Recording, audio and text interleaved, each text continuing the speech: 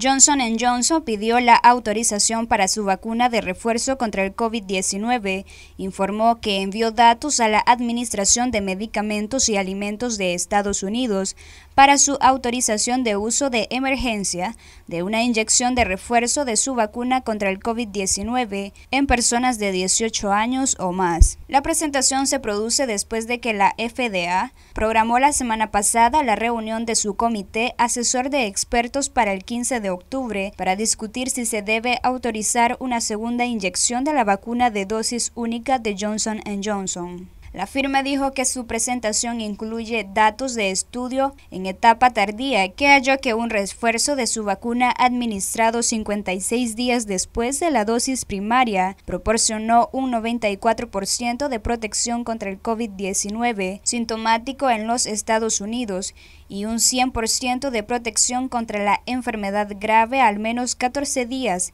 después de la inoculación del refuerzo. La FDA ya autorizó una dosis de refuerzo de la vacuna desarrollada por Pfizer y su socio BioNTech para personas de 65 años a más, gente con alto riesgo de enfermedad grave y otras expuestas regularmente al virus. Johnson Johnson dijo que planea enviar los datos a otros reguladores, a la Organización Mundial de la Salud y a los grupos asesores técnicos de la Inmunización Nacional para informar sobre la toma de decisiones sobre las estrategias locales de administración de vacunas, según sea necesario. De acuerdo a los datos proporcionados por la compañía, la vacuna de una sola dosis ha demostrado un 66% de protección contra la enfermedad moderada y grave en todo el mundo. Sin embargo, los nuevos datos indican que cuando una persona recibe refuerzo dos meses después de recibir la primera dosis, la protección contra el COVID-19 aumenta al 94%. El mismo estudio indica que una dosis de refuerzo de Johnson Johnson, administrada seis meses después de la primera inyección, parece ser potencialmente aún más protectora contra el COVID-19,